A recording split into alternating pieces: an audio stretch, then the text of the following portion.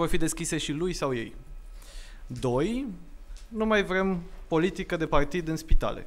E motivul pentru care managerii de spitale nu mai pot, începând de astăzi, deține funcții de conducere, administrare sau control în cadrul niciunui partid politic.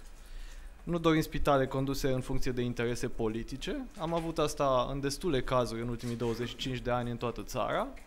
Și, după cum știm, șefii partidelor politice, în general, se tratează la spitale din străinătate, chiar pentru afecțiuni mai puțin complexe.